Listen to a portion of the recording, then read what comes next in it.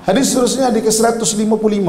Wa an Abi Hurairah radhiyallahu anhu anin Nabi sallallahu alaihi wasallam qala Inna rahima shajnatun minar rahman. Faqala lahu man wasalaki wasaltuhu wa man qata'aki qata'tuhu. Abu Hurairah radhiyallahu anhu meriwayatkan bahawa Rasulullah sallallahu alaihi wasallam bersabda Sesungguhnya rahim itu berasal daripada perkataan Ar-Rahman perkataan rahim dengan perkataan rahman dia daripada uh, perkataan yang sama. Lalu Allah berfirman sesiapa menyambungmu maka aku menyambungnya. Dan barang siapa memutuskanmu maka aku akan memutuskannya. Perkataan silaturahim rahim uh, berasal daripada perkataan rahman iaitu asal perkataan yang sama eh? rahimah. Kan silaturahim dengan Rahman iaitu Allah yang Maha Pemurah, Maha Pengasih itu berasal dari perkataan yang sama. Sebab itu Allah Subhanahu Taala sebut barang siapa yang suka menyambung silaturahim maka Allah akan menyambung uh, sifat rahmannya kepada orang itu dan sesiapa memutuskan maka Allah akan memutuskan sifat rahman uh, sifat rahman seseorang itu. Okey. Saya selalu uh, ditanya satu soalan, okey. Uh, kalau kita berselisih faham dengan seseorang, okey. Ah, dan kita menjauhkan diri. Adakah ia dianggap memutuskan silaturahim? Okey.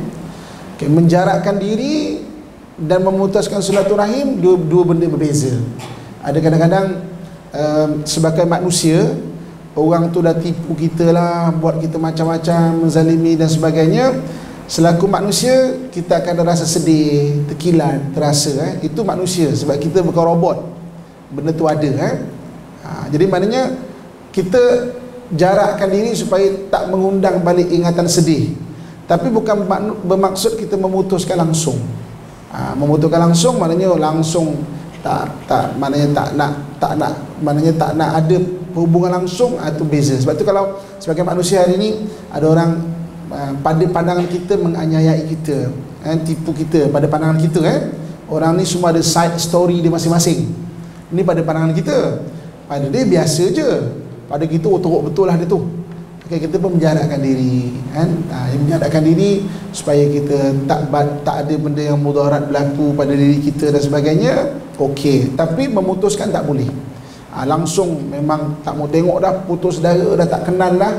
Hati tu beza dia nipis je laluan dia tu.